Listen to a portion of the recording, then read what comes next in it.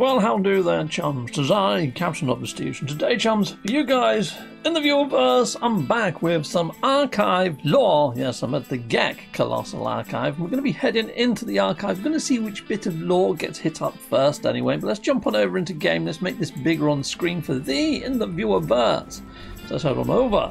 Hello there, Celestial Giant Archive type thing. Greetings, friend, and all that sort of shenanigans. Yes, all this first bit is the same. You have to choose like one of these to get access. Let's see if we get access. Granted. Granted. I guess I do. Decrypt Archive. The entry is titled The Conquered. It appears to be some kind of interactive text from a second trade era. The terminal allows me to make choices. Sweet, it's like one of those little mini games. Cool, let's get into it. The poor, the poor Wiggles have escaped the spawning pools. Do you go left, go right, transcend space time? Ah, there's got to be that one, hasn't it? It's got to be. Let's do that. You transcend space time. Yes, I guess I did. There is no winning or losing, only infinite sadness. Game over.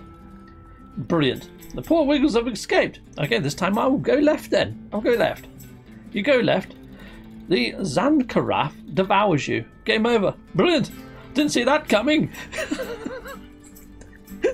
we go right then. We go freaking right. You go right. The poor Wiggles are saved and become your pets. Continue. Oh, brilliant. We got somewhere, people. Okay. The poor Wiggles have. Oh, okay. Fine. All right. That, that's the end of that game then, isn't it? All right. Fine. Brilliant. Okay. Um. Yeah. So sometimes some of the things that you get inside of these colossal archives are a colossal waste of time. but other times they're not. Other times it's lore. and sometimes that lore is freaking awesome. So this is a Gek archive, so you will see little Gek guys just hanging about here. What I love about Gek archives is you see over there, there's like this giant hologram type thing. Let's fly on over there. Look at that. Isn't that freaking bodaciously cool? Yeah, you get those at these Gek archives. Really nice. Anyway, let's press on with the lore, shall we? So when we get to that game thing. I'll skip that bit because we've already seen that one. Hello, little Gek mate. Anyway, let's get into this. So, I'm reading from a laptop down here. So, if I'm not looking directly at you guys, sorry, but I'm reading from down here. Efficient processing of core facts. This doesn't sound all too great, does it? This sounds a sinister one to start off on. The entry appears to have been removed from the ancient era. I'm Not surprised. The treatment of the Korvax entities must be merciful the universe de- demands no moral order of us, but which we choose to impose.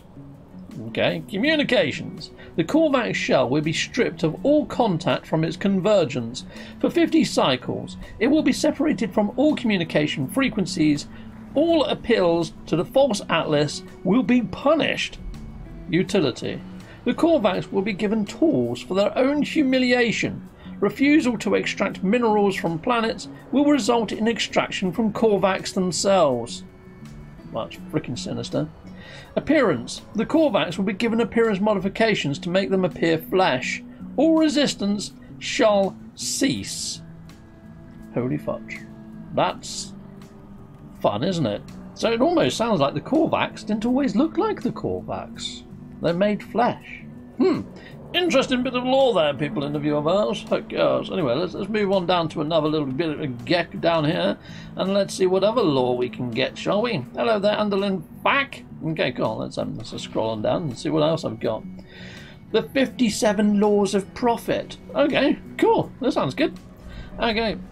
Thousands of words of Gek trade philosophy auto scroll on the terminal. A fragment. Okay, so it's just a fragment of it. Establish friendly relations with all potential redacted. Many species vary in their ability to understand such attempts. Pheromones are not universal. Distrust is everywhere. Therefore, policy recommends explicit reference to friendship. For example, Korvax friend, Vy'keen brother, redacted ally. Note that Sentinels do not understand or express friendship. Any behaviour to the contrary should be reported to the Trade Federation and considered an early warning sign of redacted. I'd imagine that's corruption. You know, we're seeing the corruption now, aren't we? Guess we are.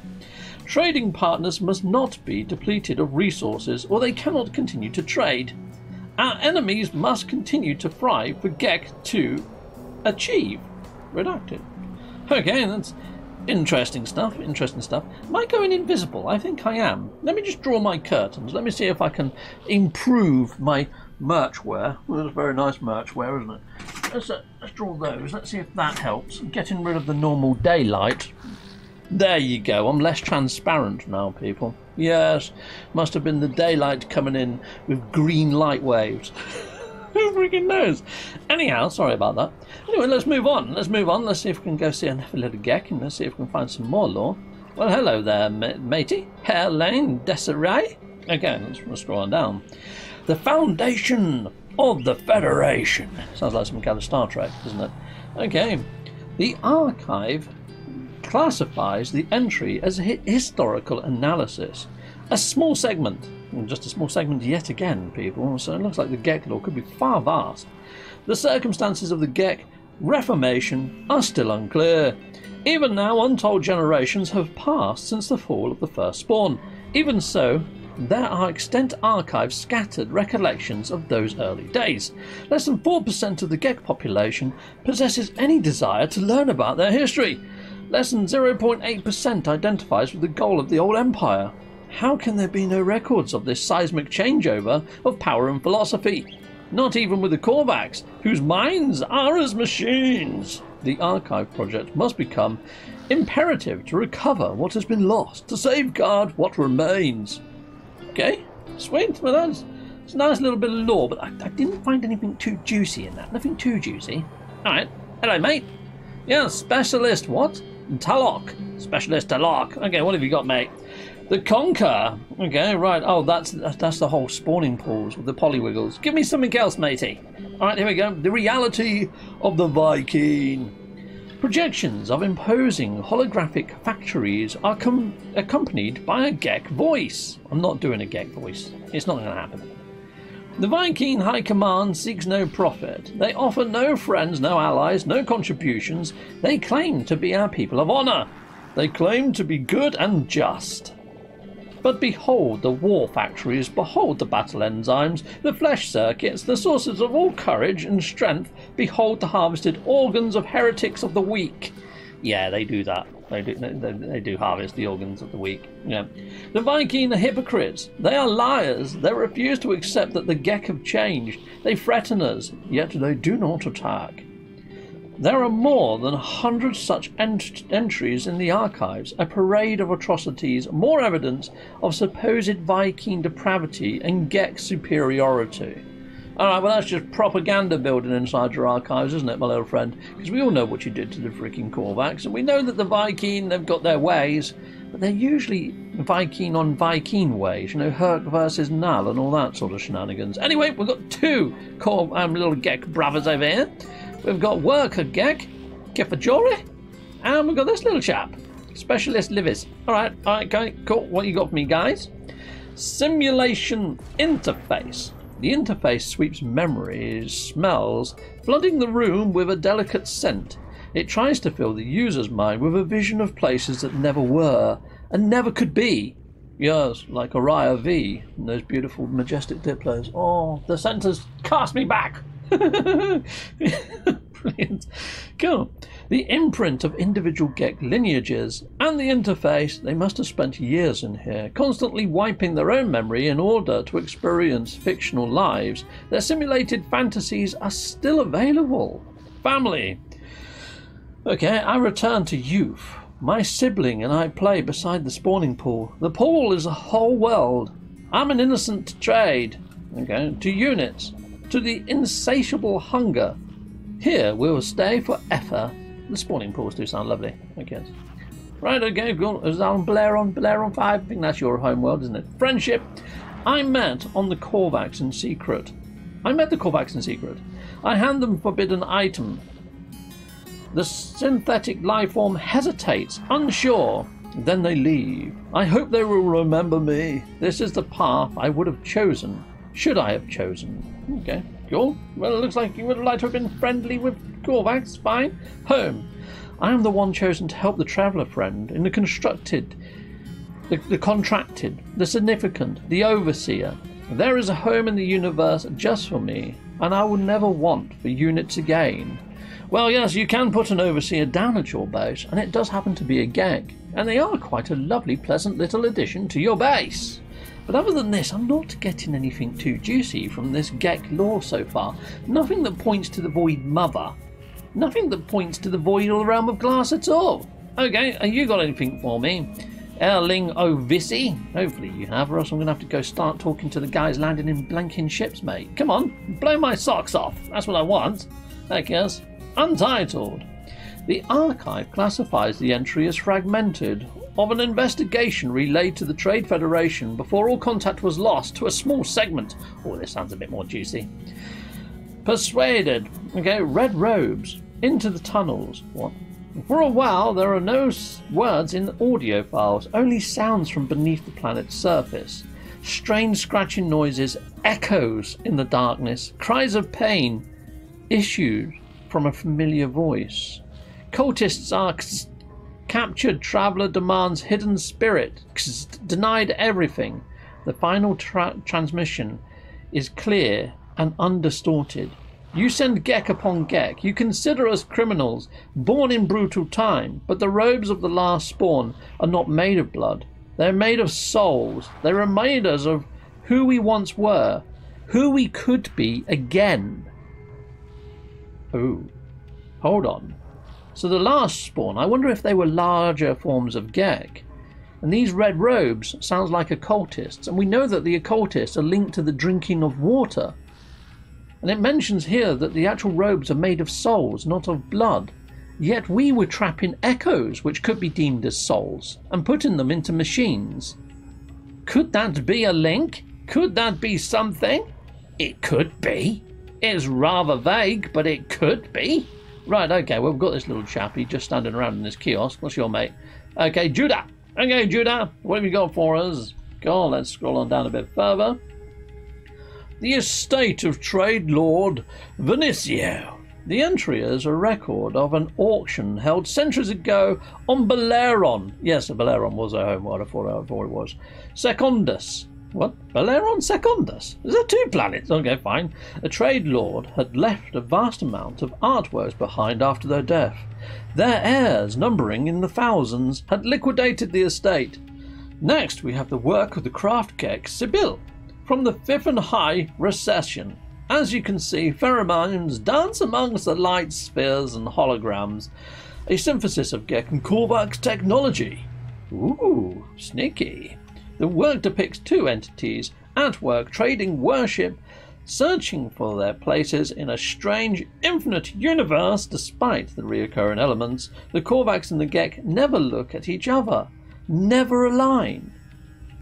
Not how the Gek will often tremble. Hold on. Note, note how the Gek will often tremble, often shake, even as it succeeds in making profit, even as its ally continues in peace. The work is titled Guilt, do I have a buyer? It sounds almost like some sort of artistic depiction of, you know, Nada and Polo up in the space anomaly. And they made some technology together. The space anomaly. They never really do look at each other, do they? Whenever, whenever Nada says, go speak to Polo, Nada then turns. i am going to have to put that to the test. How cool that? Okay, well, there we are. it could be. Right, okay, so let's have a look. So no. Oh, I've run out of freaking Geks. Hold on. There's one more over here. There's one more there. There we go. This little chap. Hello, mate. Yeah, Salutamundo. Yes, Envoy Tuss. Go for it, Envoy Tuss. What do you got for us, mate? The fragments of the Gelivub. This is actually the last entry, so that's kind of lucky, isn't it? Cool. So, entry 5. The Overseer is upset with me. Uh, hold on one sec. There's one bit above there. The archive selects the fragments of Gelivub, the diary of a famous Gek farmer from the fifth low recession era. Entry 5, here we go. The overseer is upset with me, demands greater yields of spawning pools. If we fail, all children dead. Okay, that escalated quickly. Gelivub, despair. Entry 8. Well, what happened to 6 and 7, mate? Little more than frostwort will grow in this place. How shall we thrive? On dioxite. That's a good question.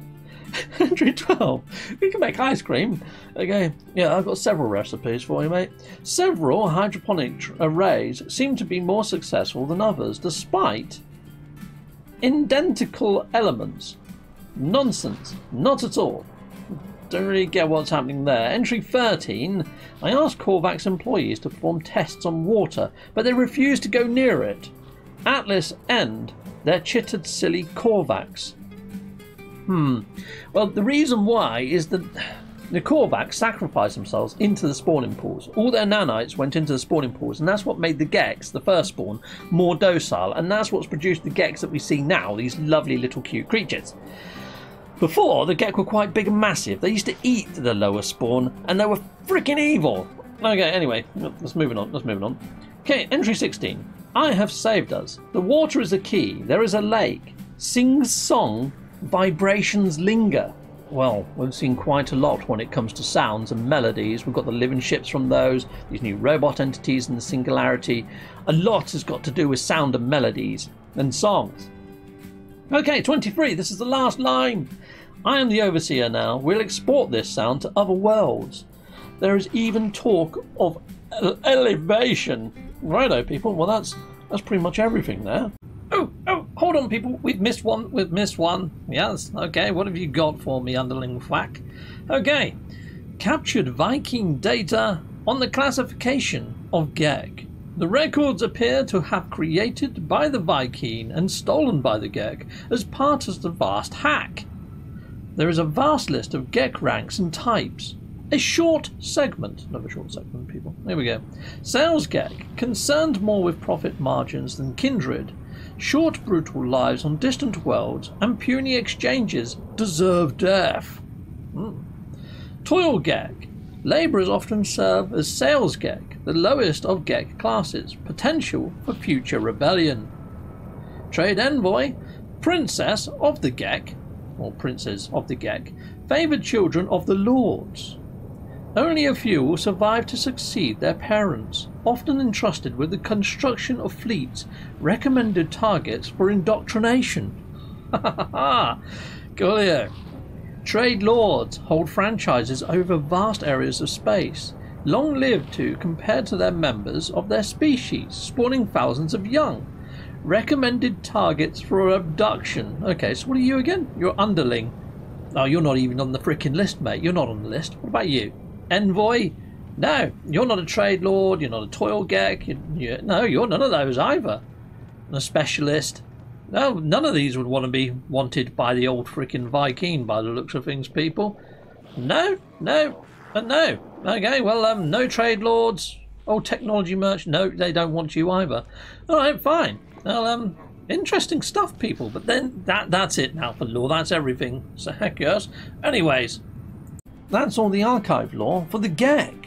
Yeah, so we'll be touching on the Korvax. I think there was a couple, a couple of little loose hints Look, it was daytime when I started, it's bloody nighttime now. Yeah, a few loose hints to the echoes, to the echoes at least, and the souls, and perhaps even what some of maybe might be lingering inside of the depths of the realm of glass. Could it be the remnants of the first spawn people in the view of viewerverse? Yeah, that's that's a conundrum for you, isn't it? Well, at least that's one way of interpreting some of that lore that I just saw. As you can see here, I'm heading towards my portal. I'm going to be hitting up a Korvax, a Korvax archive in the next episode, people. So if you're liking these, you know what to do. Smash all those buttons and share it to some friends. Awesome. Until next time, Salutamundo. Goodbye, goodbye. And goodbye again.